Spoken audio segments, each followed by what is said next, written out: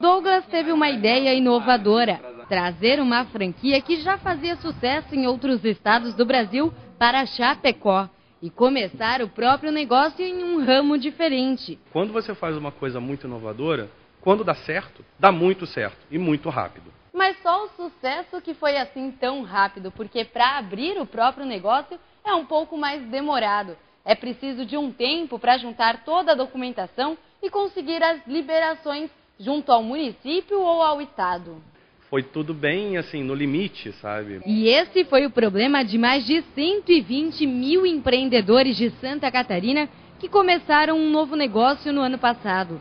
Os trâmites e as burocracias para abrir um empreendimento são preocupações e um trabalho que pode levar meses. Mas em Chapecó, essa realidade deve ser diferente.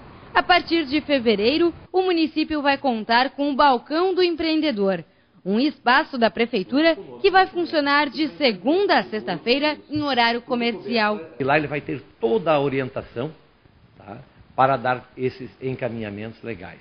Pois o Balcão do Empreendedor ele está intrinsecamente ligado à nossa Secretaria de Tributos, a vigilância sanitária e com todas as informações também dos órgãos de governo estadual.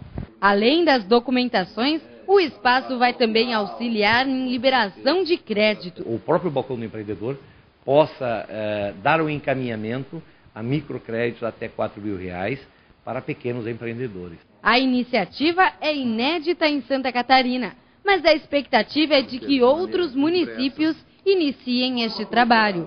São espaços onde esses empreendedores, já com uma, um trabalho feito pelo executivo e legislativo do município, conseguem ter maior agilidade na formalização dos empreendimentos.